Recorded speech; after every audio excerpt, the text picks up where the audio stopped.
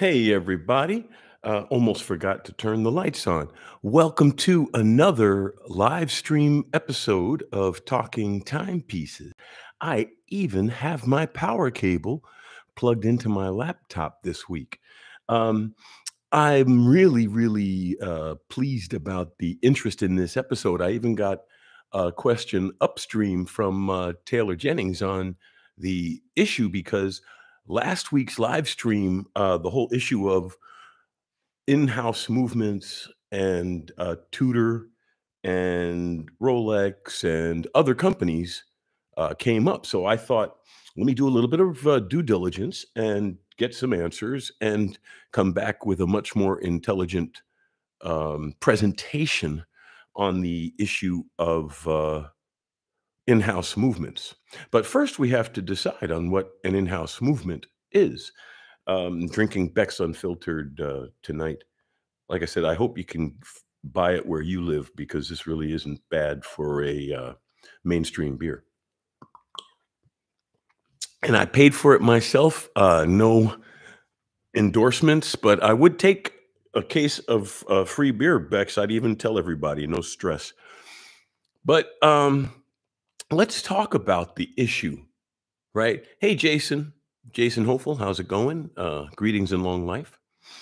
And so let's talk a little bit about what do you think makes an in-house movement? Is it that the movement manufacturer is vertically integrated with the case manufacturer and face manufacturer and bracelet? In other words, all of the aspects of the watch are all of the aspects of the watch made by one company, one set of hands, one umbrella of ownership? Those are all very important uh, distinctions because, for example, um, Rolex, let's start with the uh, King, the number one brand, right? Let's genuflect in the direction of um, St. Petersburg before we move on. And it was a long time where Rolex just owned the company that made their movements. It wasn't part, or I shouldn't even say owned. I think they were a major stockholder. I'm not going to go as far as to say I know the previous history, but I do know that Aegler was eventually bought and integrated completely with into Rolex. But even in the days when they were just a customer, they had Rolex prominently displayed on the outside of the Aegler facility. So um, in-house has been a muddied term from the very beginning. I would personally like to think that uh, an in-house movement, a true in-house movement, is a completely vertical operation. The same people, okay, it could be multiple sets of hands, and it could be multiple um, divisions. All right, but at the end of the day, the people who m- made the watch if the pe- if all of the people involved are all involved in the same organization at the present time with the way the world is globalized and the supply chain goes and it's even the people who are com- almost completely in house no, almost none of them make hairsprings for example. So because they're buying their hairsprings but 99% of their watch is made in house does that make it a not in house movement?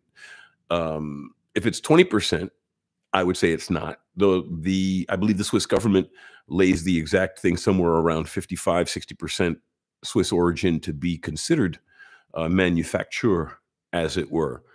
But first, you have to think to yourself, what does an in-house movement mean to you before you have to uh, think about how it applies. And then the second aspect of that is, um, is it important, right? Is the uh, fact that is it is an in-house movement that it is a vertical organization that manufactured this watch. How important is that to you? Uh, let's see. Uh, jason would i consider hamilton h lineup of movements in-house?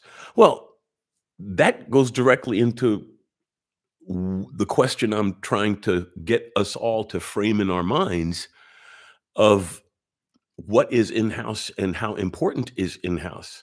Now, uh, Hamilton is a Swatch Group company, and ETA is a Swatch Group company, and those are movements, even if they originated as ETA, they were purchased I shouldn't say even purchased. They were assigned within the group. I mean, obviously, there's money changing hands even within a vertical corporation.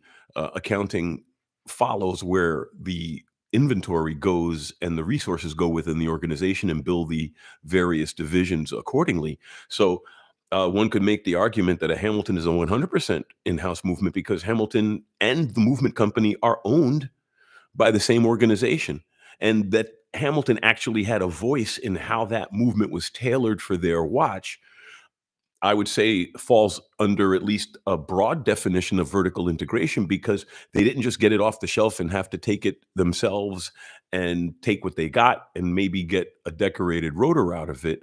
Um, a lot of these movements are not just decorated differently for the companies, they are tailored for the specific desires of that organization. Like, for example, in the case of the Tissot Powermatic 80, uh, there's the Powermatic 80 with the um, Swatch equivalent of uh, the non magnetic hairspring technology that's not silicon.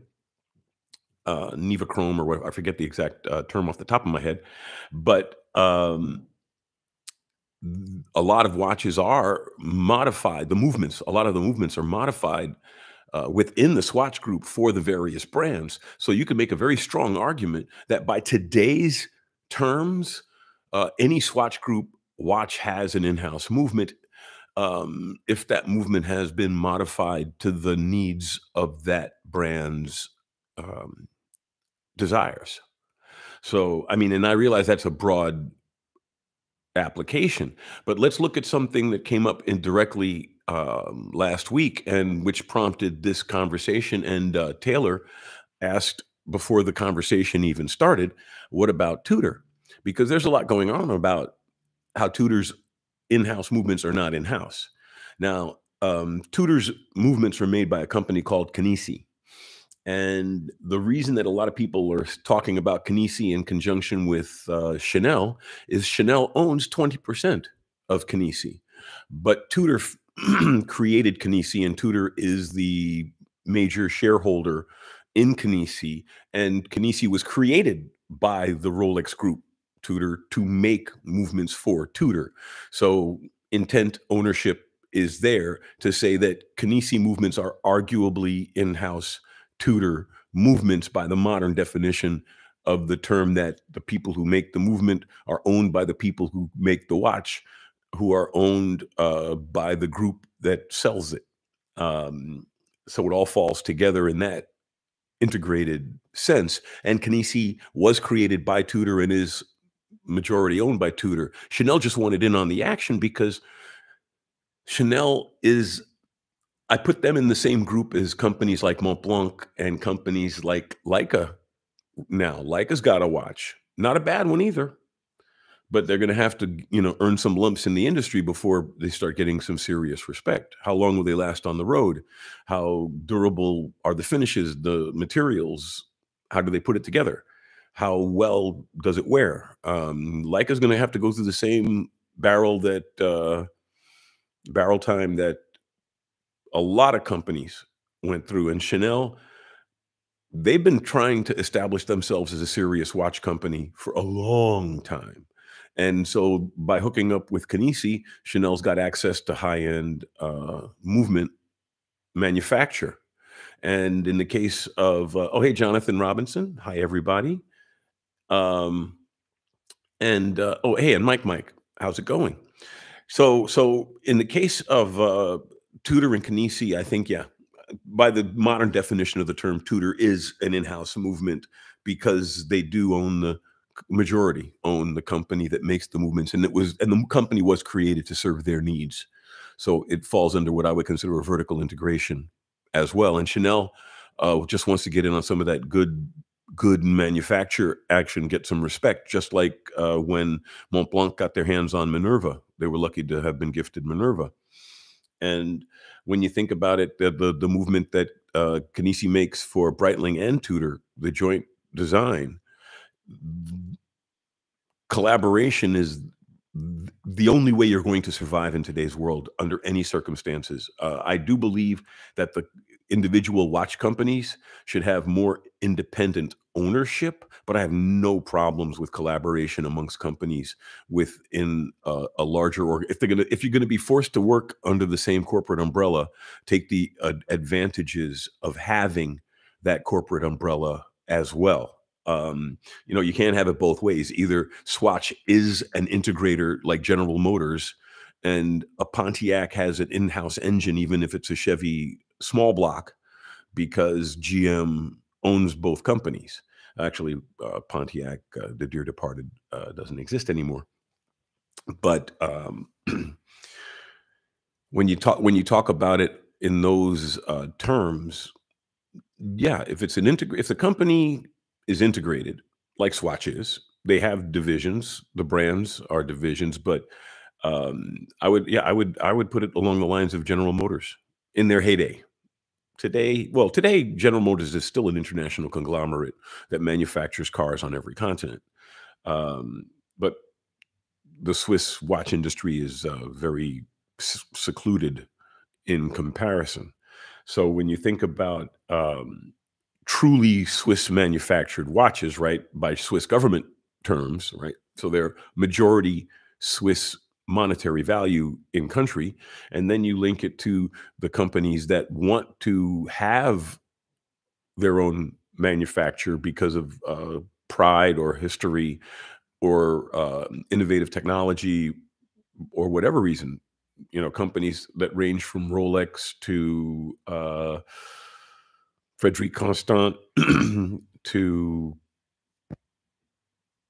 Nomos, you know, um, there are companies that are completely, I mean, and Omega is part of the Swatch group, so you know uh, those um, silicon hairsprings that Omega is getting are the same silicon hairsprings that um, Tissot is getting for the uh, the Tissot Silicium, the Gentleman Silicium. So, which is just silicon in German. so, organizational integration to make a watch is not a sin. Um, now, companies that just buy movements and slap them into watches are not, you know, are a totally different issue. Um, I I'm starting to think that uh, some of the companies that say that they go over the Chinese movements that they put into their watches. Um, I'm not going to name any names specifically, but I've had some watches in my hands recently that I had thought the company had gone over, but actually didn't perform as well as a watch that I could have probably regulated myself over a period of time, not being a very good watchmaker, not being a watchmaker at all. But I do know how to push um, a, a, lever on a hairspring back and forth with a toothpick, and I have a time grapher. So um, if you're going to sell watches with someone else's movement in them, you should at least take the time, trouble, and effort and energy to make sure that they're the best iteration of that movement that comes off the shelf. And if you can, uh, and if it is not an exemplary presentation of that movement, then what value add are you giving besides a pretty case? And if it is just a pretty case, then you should just say, hey, we make a pretty case and price your watches accordingly. Um, but some of the companies that are uh, doing this are charging premiums as if they're putting a value add on these movements that they're getting from third parties, and they're not doing anything to these movements from third parties except making sure that they're running and uh, possibly tightening any loose screws they come across hopefully but um, yeah if if it's an integrated organization and they're actually working with the designers of the watch and the movement is made to their specifications and it's the same organization i would say that it's an in-house movement um, and then there are the companies that use external movements and work on them like iwc is not uh, a Swatch Group company. Uh, actually, they're moving towards Sellita movements because, uh, well, actually, so there's nothing wrong with Sellita movements. They're they're exp- they're patents ran out on uh, very, very good movement designs, and there's nothing wrong with using an expired patent. That's why patents are designed to expire so that they can promote uh, development within the industry. Because the thing is, is that companies like Sellita that have these original Valjoux and ETA base calibers to work with, once they learn movement manufacturer themselves and get better at it, they'll start releasing more of their own designs. And we're, we're already starting to see that. So having these companies that are founded on out of patent uh, ETA movements, nothing wrong with that at all. In my humble opinion, I the it's just that they should say that these movements are not their movements that they bought them from Sellita or they bought them from, say, for example, even Citizens people or Seiko. Um, there's nothing wrong with having an, an external out of house movement in your watch. Uh, that was the rage in the uh, 60s and 70s before the quartz wars. A lot of companies, all they did were pick their choice of case and face and movement out of a catalog to spin it the way they wanted the watch to look. And then they sold it to the industry and the industry bought it. That's how Heuer started. That's how Rolex started.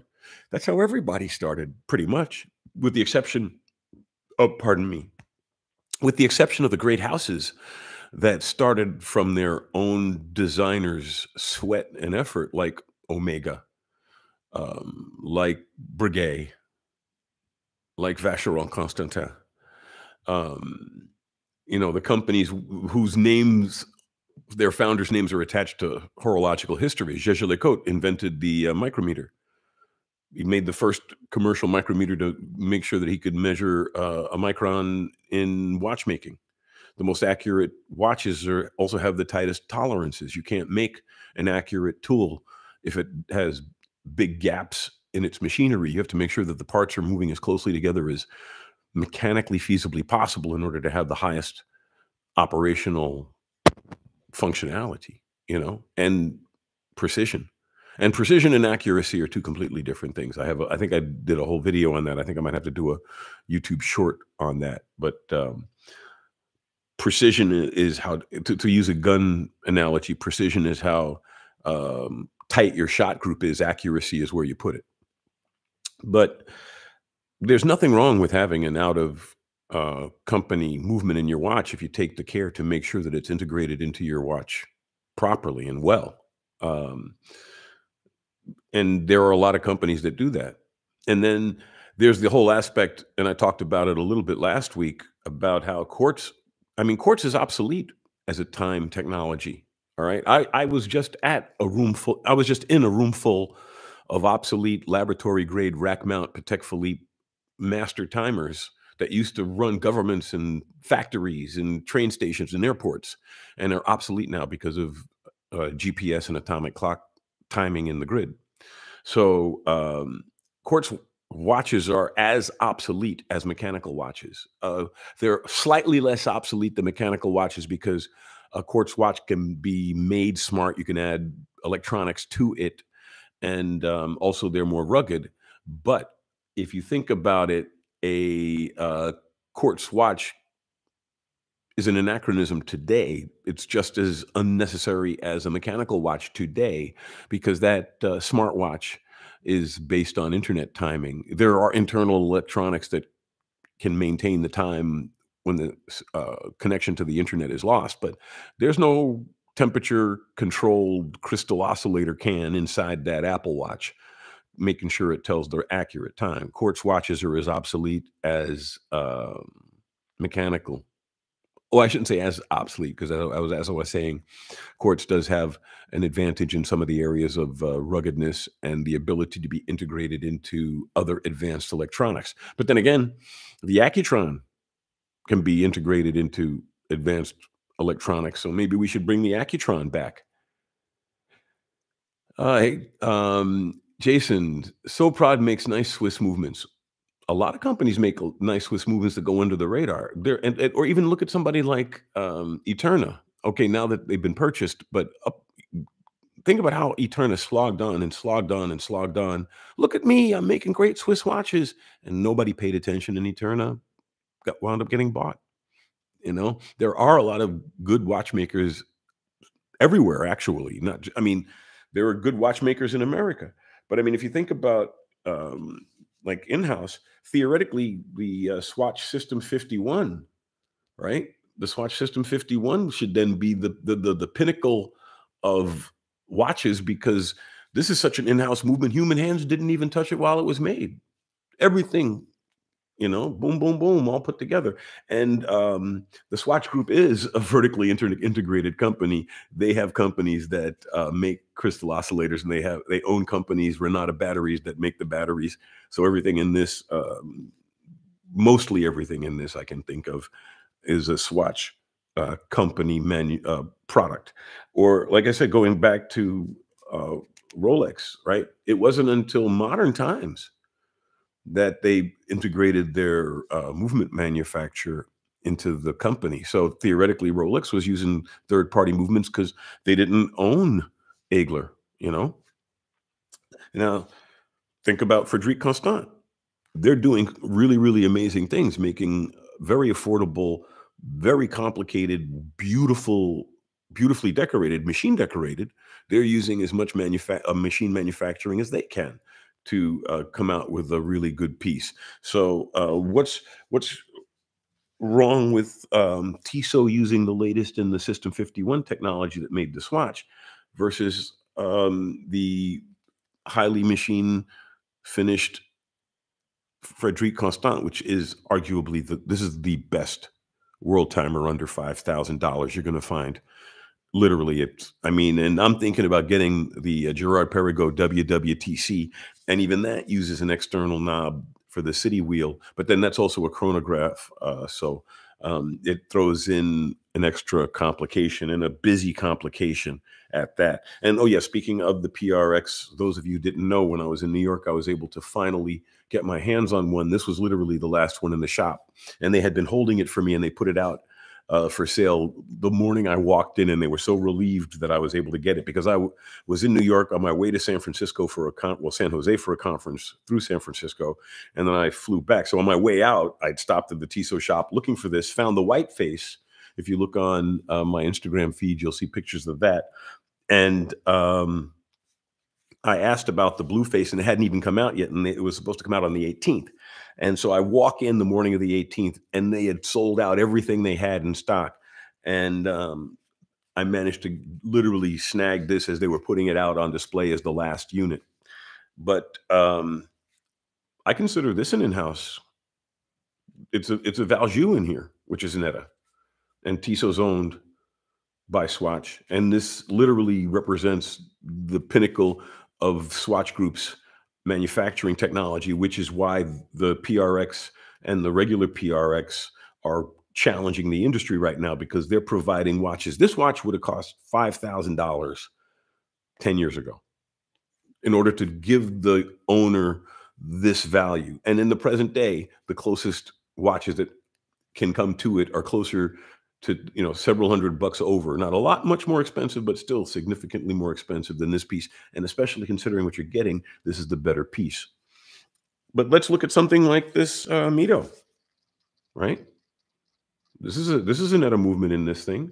This is just a legitimate uh, uh, theoretically an in-house as a, a seam well omega is much more vertically integrated in a, a movement manufacturer but still owned by swatch right but this this Mido diver, right? It's got an ETA in it, and um, it's not in this in the case of this Mido, it's not specifically made to Mido specifications, but um, I doubt that they gave them a substandard model to use in their 200 meter diver. So, in one sense, it's a gray area, but in another sense, you just follow the money if if if all the money is kept by one set of hands, unless they're just a holding company like uh, poor Breitling right now. But then again, the, the, the holding companies letting Breitling do a lot of cool stuff. Breitling's put out some really, really beautiful pieces. If they came out with that uh, moon phase calendar of theirs um, in any other color than salmon, I'd really seriously consider getting one myself. Currently, the winner in for me for price value is the Longines uh, moon phase calendar, but Breitling could convince me to jump over and add 2000 no more than that the longines is worth about three and a half the breitling would be worth about nine and a half so i would literally have to triple the cost to jump up to that watch and then you have to go back into is it worth three times the money and the longines is a great piece and in that case ETA makes them a special movement it's a Valjoux 7751 base 7750 base, 7751 is um, the GMT, if I'm not mistaken. But I think, but it's a Valjoux 7750 base movement, but it gets a column wheel. So uh, my Longines chronograph uh, complete calendar moon phase has a column wheel chronograph in it for three and a half thousand bucks. And yeah, you'd have to spend six to 10K to get a watch with that, you know, feature set. And I would say it's an in-house movement in that Longines. It was made for it by a division within the company that owns it, you know. So um what are your thoughts on that? I'd really like to know. I mean, and it's a subject that we all have a valid opinion on because it's a market and we all have our money and we're all willing to spend it, right? So your opinion is just as valid as mine. I'm not some, you know, arbiter sitting on my throne decreeing what is watch reality. No, no, I'm just a, a person just like you. I'm just a schlub who uh, I'm a journalist in my day job, so I journalize my hobby, and um, I love advanced tech and would check out electronicdesign.com. That's my uh, day job. And uh, I'm just spouting my opinion on watches. So your opinion on what makes an in-house movement is just as valid as mine. So I'd love to hear it. So, hey, Queef Connoisseur, the pleasure is mine. I mean, like I said, it's an important topic to talk about. Um, yeah, Mike Mike. Tudor's movements are made by Kenissi. I said that a little earlier, and Chanel has a 20% stake. And uh, Norqain, Norqain is also getting Kenissi movements. And so I could easily see Bell and Ross getting it because Kenissi is the new hotness, right? It's like having a Dubois Dépraz module on top of your ETA, you know, to make your chrono. So at least people don't sneer that it's a modular movement. But in the case of a straight up move, because that's the thing about Kenissi, their movements are integrated. They make some really nice movements. But then they're making them for the Tudor Black Bay Chrono. They're making them for the uh, Breitling BR1, B, B1. Um, but they're making them for some heavy, heavy hitters.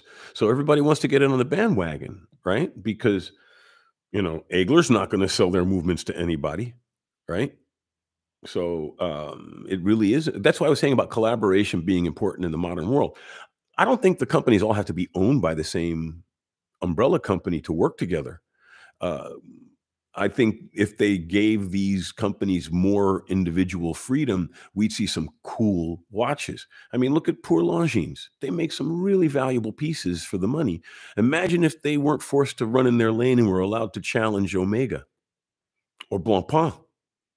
Longines has got the history and the chops. You know, why couldn't they make a nice $8,000 chrono Moonfei, anything, GMT, pick the complication. I mean, that's the biggest problem with being in a group. Omega can't challenge the people above it on the ladder. The people below it on the ladder can't. Mido can't move.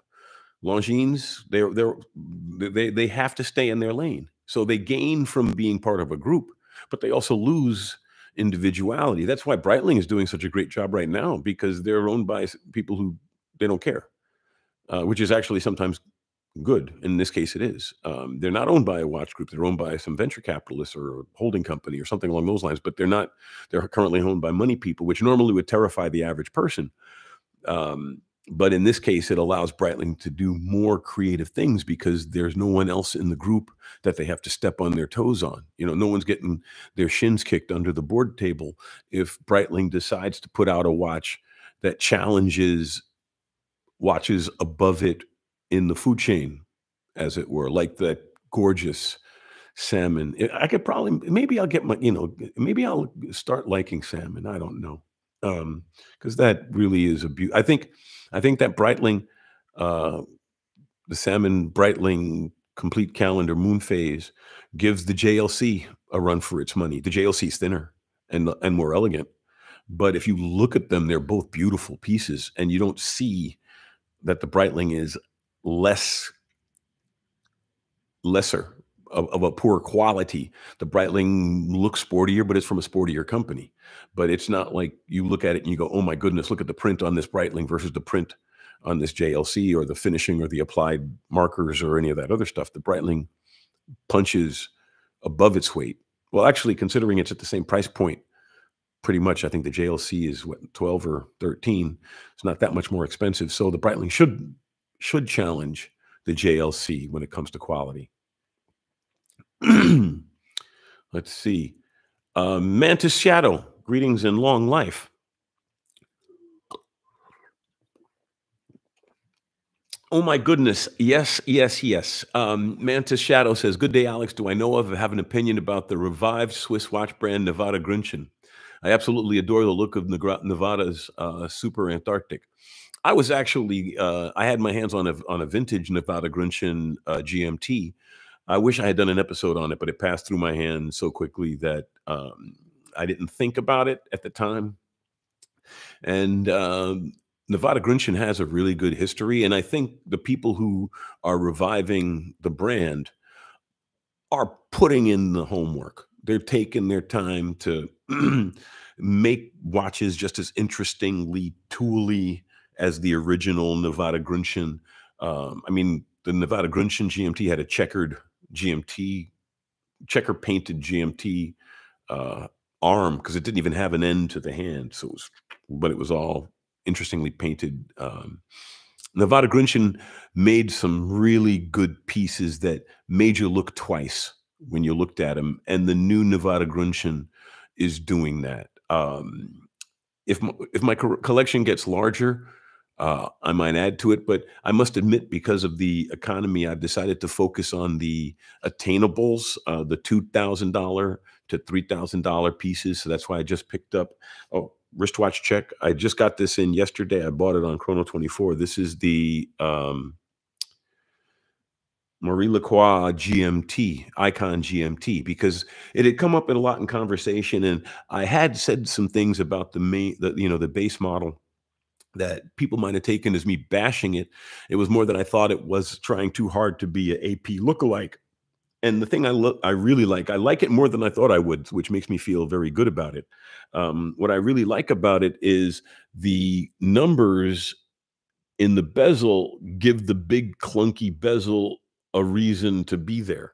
So um, it really, you know, makes the Aikon a real sports watch, in my opinion, because it's a very functional uh, complication GMT, and it has this big grippy bezel to begin with. So putting the numbers on it made it functional. Now I am gonna, I am gonna complain. It's a unidirectional bezel, and I have a couple of other small uh, nigglings about it that I will bring up in the review. But as far as I'm concerned, for um, about 1900 uh, used in good quality. Um, this is a great sports watch, and um, again, a good example of uh, what you can do when you when you're trying to make something nice at a specific price point.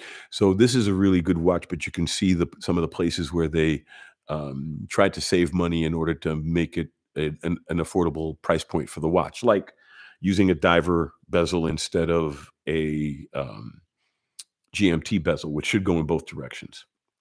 You know, little things like that.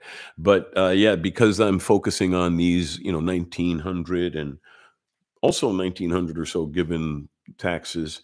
And I did score a um, moon swatch when I was in New York as well. So um, I'm I'm loading up on some really nice pieces to do shows on because I also have the uh, Longines Spirit GMT. Um, well, it's been back ordered. That's why I don't have it yet. And I've got the uh, Seiko uh, GMT on order. And I just I did finally find a Farer um, flyback split second chronograph with a color scheme that I liked. And, uh, and so I ordered that as well. And that's coming in next week. So we're going to have a lot of really nice pieces um, on the show in the coming months. So I encourage you to tell your friends to subscribe. And please like this show if you uh, haven't, because it really does matter to the metrics. And tell your friends to subscribe too, please. And tell them we're going to be reviewing some really cool watches because I haven't reviewed the um, Mido yet and I haven't reviewed the Tissot yet, and I haven't done really well. I mean, everybody's talked the Rollei 41 to death, but I haven't. I'm going to do a comparison against the Globemaster because I think it's a valid comparison. And then I got the episode where I smash the three fake Rolexes coming up as well. So we have a lot of really cool content coming up. So please tell your friends about it. We're a little bit more than halfway through the show, so if you have any questions, now's a great time to bring them up. Otherwise, I'll pop over to the um, site page and see what kind of questions we have coming over through the mailbox.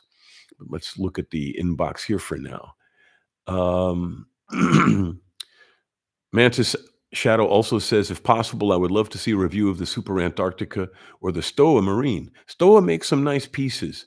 Um, I wouldn't do a 36 millimeter watch unless I knew I could sell it because if I had to keep it, I, I'm, I'm a, my hands are a little too big. This is a, this is like a 43, and it doesn't look all that big on my hand. A 36, unless I'm wearing a suit, I'll wear a 36 with a suit. Um, but I, I, I might get my, I might buy, I might buy a Nivada Grenchen. I might buy one um, if I can find one at a good price uh, in one of the one of the styles that I like. I might make the leap because if I can't move it on, then I'd be happy keeping it. Which is what I do with all of my pieces. I don't review a piece unless I would actually uh, buy it for myself to keep myself because I'm not in this as a dealer. So if I can't, you know, move the watch on, I don't even try to make a profit. But if I can't move the watch on, I'm stuck with it. And I would say stuck with it because if I buy it because I like it, then at least I'm not stuck with it. And then you always get a good review because these are all watches that I would my I would put on my wrist myself. So um Jason, Jason, um, oh, we got a siren going by in the background. Jason says, I have an opportunity to buy a brand new Mido Multifort Chrono for 850 Canadian if you like the way it looks, it's a good watch and that's a decent price for it. Go for it. I paid 18 for my chrono. It retails for around two. Um, 850 is a good price for the Mido Multifort. Um, I would it's it, it's a good value. So if you like the way it looks on your wrist, put it on your wrist though. If you have an opportunity to touch it, um, try not to buy a watch unless you've at least seen it through a shop window in the flesh. Photographs do not do anything proper justice, especially when you're going to drop a couple thousand dollars or a thousand dollars on something. Let's see. Uh, Milad Sky, greetings and long life. Um, hi, Alex. How about buying a used Submariner as an investment? Depends on how much you can get it for. If you can get that sub for, well, if it has, it all depends. Does it have a box? Does it have papers? Is the bracelet in good shape? There are a million questions if you're going to buy a sub. Can you see the movement? Will the owner go to a jeweler, have the jeweler take the back off the watch and take photographs of the movement so you can verify that it's a free sprung balance and then at least 99% chance of being a real Rolex? So, all of those things being equal, I would say, yeah, buy one as an investment. Um, I must admit, I did take a financial loss switching over from my Explorer 2 to the Datejust. And you, if you watched any of the episodes about my love hate relationship with Rolex, I finally at the end decided to go with a very classic Rolex that with box and papers. So that way it's not, it, I don't think of it as an investment, but at least I'm not going to lose any money on it. And it was worth the trouble uh, to pick up. And the Explorer uh, 2 that I had picked up, I had managed to get a second generation um, 16570 uh, so no holes in the lugs. It was really a nice piece and was a good value, but it didn't have a factory bracelet, which was a huge handicap that I didn't realize how much it would be a problem because it's very easy to say you wear it on a NATO or put it on rubber, but when it dings the resale value of the watch by two thousand dollars, then it it with a watch in a that's trading you know crazy in a market that's out of you know, it, it, it thankfully the prices are going back to market norms. Uh, I don't mind that they're going down right now. I mean, as long as they're stable, better to be stable in long-term growth than all of this speculative crap. So um, I have no problem with that at all. So I would say if the if the if the Submariner has got at least papers, or uh, and one good way, an easy way to get papers, an expensive but easy way to get papers. If you send a watch to Rolex, they'll charge you through the nose, but you'll get a new two-year warranty card. I did that with my um, Oyster Quartz. Uh, cost me 1,700 euros to have that watch serviced, but it allowed me to sell it with papers and uh, I was able to get market value for the watch where I wouldn't have if I hadn't had it serviced because it was also having a the date was slipping on it, uh, so it needed service, and I had factored in.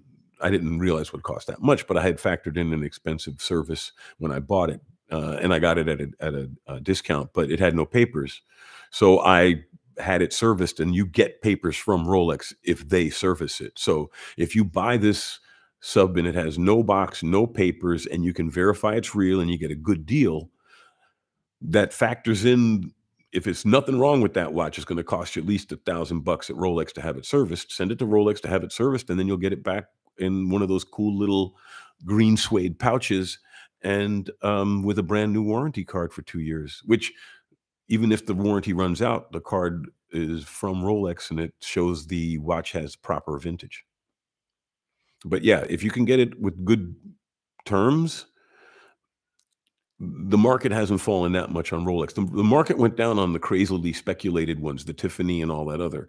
But a black sub didn't go up that much.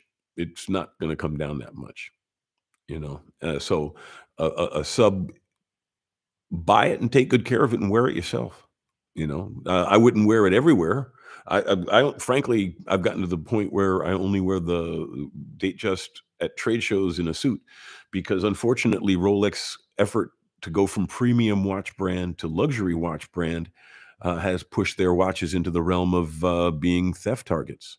You know, so I would much rather wear my Globemaster someplace because people may not even recognize that it's worth anything, or you know, the Maurice Lacroix because if I'm traveling, better to have a GMT anyway. And this is a perfect watch to travel with because people look at it and they go, "Oh yeah, it's an a- a- AP lookalike," and uh, don't cut your arm off for it. But uh, that is unfortunately a problem when you are, you know, a collector and wearer of um, premium and luxury watches.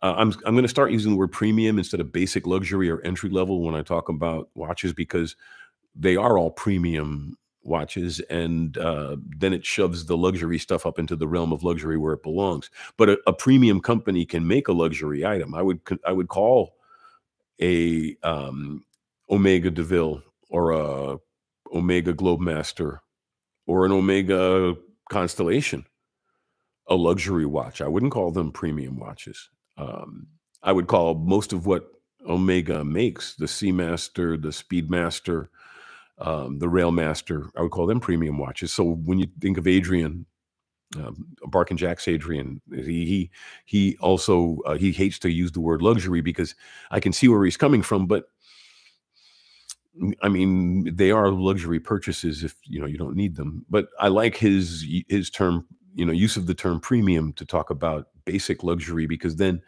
people know exactly what you're talking about because it is a premium product and uh, premium a premium product can be luxury, um, and not all luxury products are premium. so, um, Shy Robert, I love Farer. Wow, you're the man. Well, hey, how's it going, by the way, Shy? Uh, I, I've talked Farer up a lot.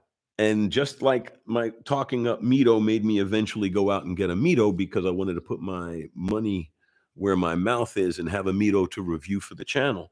Um, I also like Fairer. I like what they're doing. And I, uh, when I had the realization that Quartz's collectible horology in a serious fashion, I decided, well, what if I were going to add a, a, quartz watch to my collection, and I have a moon swatch now, which is a quartz watch, but I didn't get it for that reason. Um, and I've got a G-Shock embedded in plastic, and that's exactly why I bought it for to embed it in plastic. But as far as like a quartz watch that I would actually maybe wear on occasion, and yes, I would wear the moon swatch on occasion, but uh, not because it's a quartz watch. And so I thought the Farer uh, chrono, the, the double chronograph flyback would be perfect. But the one they had initially was very, very uh, interestingly colored. And the one that I wound up buying is more, it still has an interesting pattern on it, but it's more subdued blacks and browns and such. Uh, so I thought, okay, this is a watch I could keep if I can't move it on. And so, yeah, I'm, I put my money where my mouth is and I, I bought a Farer, cost about 600 bucks. And um, it should be arriving on Monday or Tuesday. So, but I I I, realize that um, there are some really interesting pieces at reasonable prices. I don't think I'm gonna. Uh, I was actually thinking about getting a Glycine SST and uh, um, and the uh, some other uh, lower priced uh, watches, but there are. I think there are enough people talking about you know 100 and 300 dollar watches out there and there are a lot of people and there are a lot of people talking about 12,000 and 15,000 and 20,000 dollar watches out there but there aren't too many people talking about 2 and 3 and 1500 you know dollar watches uh, attainable collectible that you know people I shouldn't say people because there are people who can't afford that but um mainstream watch collectors let's call it that you know people who uh they might swing as high as six or seven thousand on a watch, you know, you know, for the top of their collection, but they're they're they're banging around in uh, fifteen hundred to thirty five hundred dollar uh, watch range, wearing Maurice Lacroix and wearing Rado and wearing some really good companies out there, you know, um, like Mido, you know, like Oris, and so, in fact, I'm I'm that's going to be my next. Uh, mainstream, you know, premium watch purchases. I'm I'm trying to find an Oris that I could uh, fall in love with, and I'm thinking about the skeleton uh, Big Crown Pilot 10, Pilot X, uh, because that's a really striking piece. And um, I sold my uh, Tag Heuer skeleton Carrera 2 Chrono, so I don't have a big honking skeleton sports watch in my collection right now. So if I need a big honking skeleton sports watch to wear for whatever geeky reason I feel like wearing it, maybe I'm visiting some facility and I want to, you know, uh, engineer flex in front of people, you know, engineers and technicians who would actually care about that kind of thing. Um, not to say that there are other people who don't care about that kind of thing, but you tend to find more watch geeks among engineers and technicians than you would among, say, for example, um, real estate agents. Although some are very good in watches because they want to show um, their knowledge of various things for conversation purposes, or just to show that they're really good at real estate because they can afford some really nice pieces. So let's see. Um, Swatch Group. Shy Roberts says Swatch Group is not hardcore or extreme enough to move the industry forward. Most watch collectors are now going for retro look, except Richard Mille. I used to have a lot of nice things to say about Richard Mille, but I had such a negative experience at their New York boutique that I don't even want. It's not even worth describing. Just to say that they're they don't need my support. They're full enough of themselves. They don't need anybody's support or help. They they they walk on water in their eyes. I guess. Um, but uh, shops like that, the only people who walk in are fans and customers, and you need the fans, or else you won't have customers because without market pressure that these are cool, nobody's going to want to put them on their wrist. So companies like Richard Mille that are that are um, negative to curious curious seekers or fan base or people who just want to walk in their shop and look around. Uh, the shops that are hostile to that are, are, are losers, in my opinion, even if they're making money. Um, I was at the Jacob and Co. facility, the their boutique in Manhattan, and their watches are just as expensive as Richard Mille's and they treated me very well and were very nice to me, even though they knew that there was no way on God's green earth I was going to walk out uh, with one of their watches. But you know, they know the only people who walk in are customers and fans, and obviously I didn't have the entourage to dressed as I was. If I had an entourage, I could probably get away with being rich. But um, they were nice to me anyway. Whereas Richard Mille was so cold, it wasn't even like I said. Yeah, I'll, I'll skip over that. But um, the the retro look is coming from the fact that there are some really nice watches that were designed in the past, right? I mean, like for example, I really I'm I'm thinking of getting a Hamilton Intramatic for my collection. Again, two thousand dollar watch, but a beautiful piece. Um, classic Panda chrono bicompax, right? Beautiful two thousand dollar watch and um, I intend to get my hands on one eventually. Maybe not right away. I just bought five. Oh my god, I bought that many watches. But I was in New York traveling specifically to shop for them, and I picked up. I don't count this the Seiko because that was only five hundred bucks, and uh, Farer. I had to do it for the channel. So no, I'm not spending too much money on watches. It's it's for the channel. It's for the audience. That's the rationale I'm giving myself, at least. But then again, I am doing it for you as well. I do it for me, obviously, but I enjoy the hobby and I love sharing it with you all. And I love your comments and I love your questions. And I mean, I love you all, period. And if we couldn't have this conversation, this channel wouldn't be nearly as fulfilling for me. So, um, the Aikon is such a cool watch. I prefer the three hander though. Well, Mike, Mike, everybody has their taste. I like the GMT because all it does is throw an extra hand on the face, but it gives it just that little bit extra busy, complicated. And like I said, I like the fact that the numbers are on the bezel. It keeps the bezel from looking like a, a, um, a uh, AP, you know, I got a big bezel look. It's the bezel's big because it has these numbers for the GMT functionality. You know, I mean, I recognize that no, they're using the big bezel to put the numbers on, but it, it, to me it comes across more balanced. And um, but the three handers a beautiful piece as well. If you have one good on you and if you're thinking of one go for it. But the Aikon the Aikon as a whole is a, is a nice family. I bought the tide the plastic one from the recycled ocean plastic. I did an episode on that. You should check it out. And i gave it to my oldest daughter. She loves it. She she was wearing it when she visited me this last week. And she does she didn't do it to humor she doesn't do stuff like that to human be she I can tell she genuinely wanted to wear the watch because uh, she was going to see friends afterwards, and she wouldn't do stuff to humor me and then go see friends. But uh, she also really loves the. Um, I gave her my um, Inox. I gave her my Victorinox Inox watch, uh, and she loves that. She that's what she wears to concerts because she jokes she can beat somebody to death with it if they give her a hard time.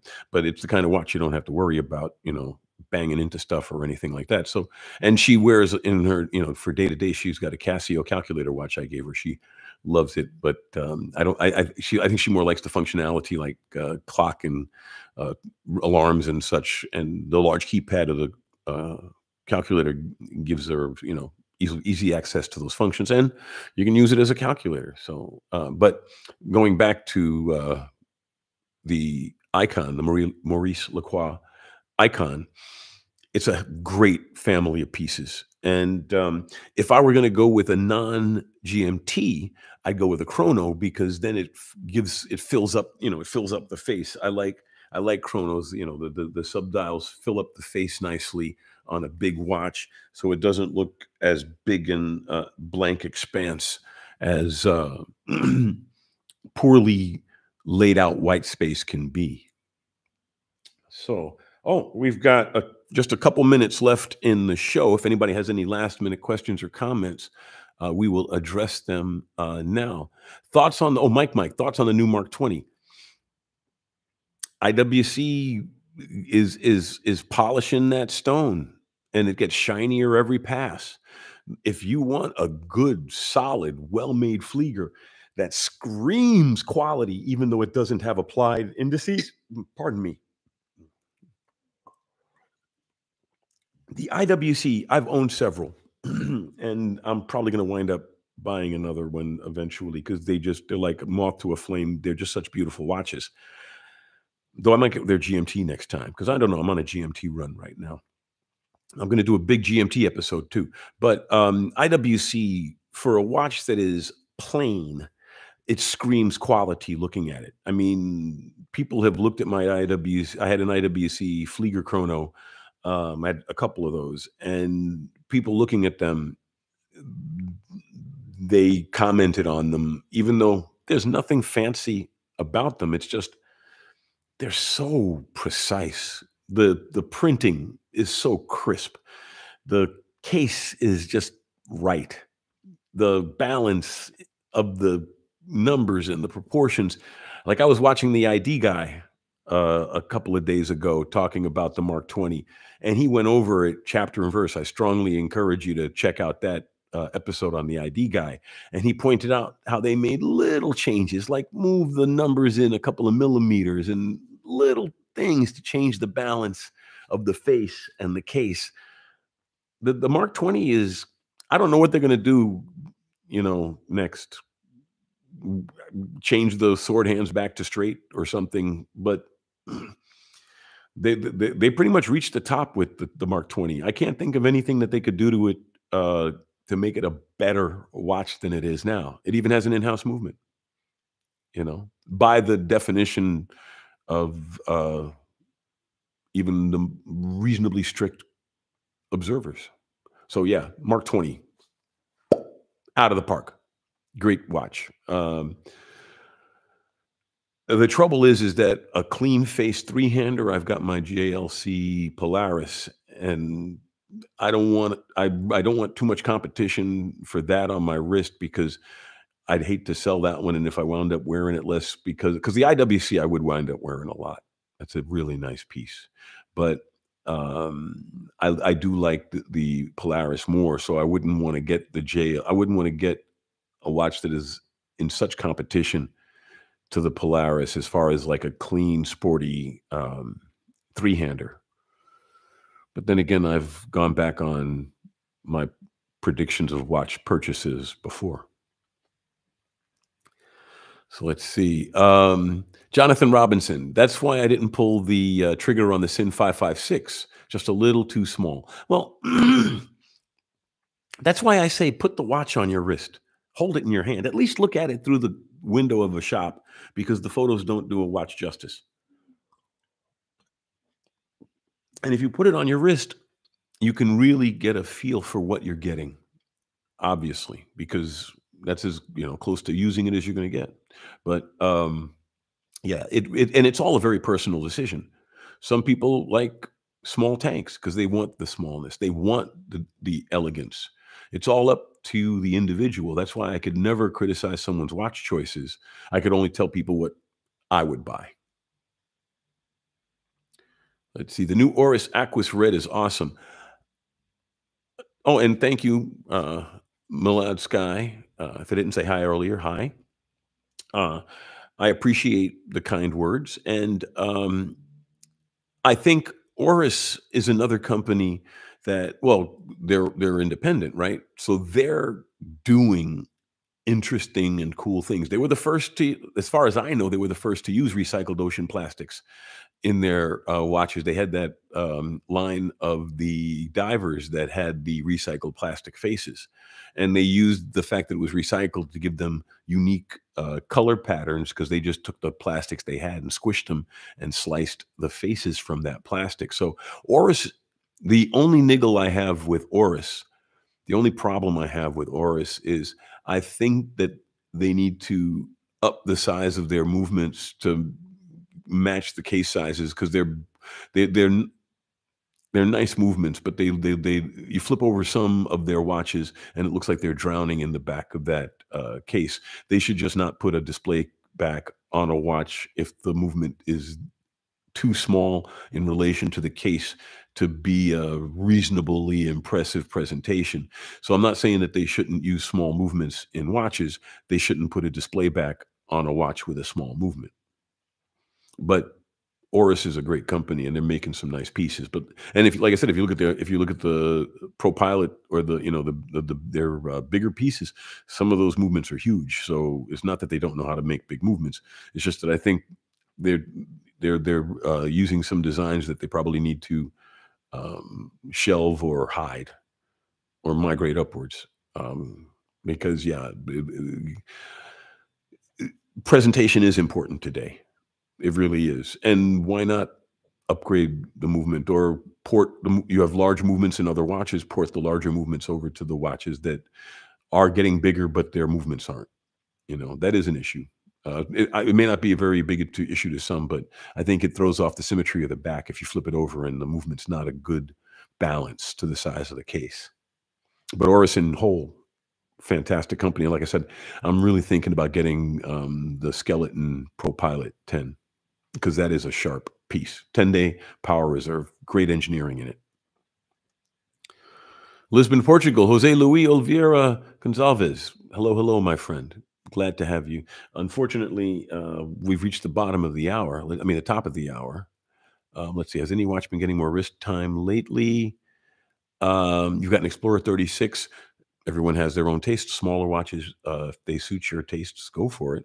And I'll I'll close on my watch. Uh, I'll close on your last question, Levy, uh, and welcome, Levy. Levy Olson, uh, has any watch been getting more wrist time lately?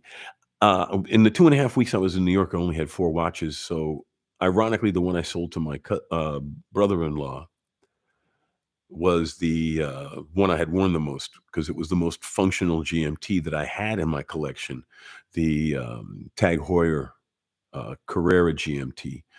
Uh, but um, th- and this one's also an office GMT, not a traveler GMT.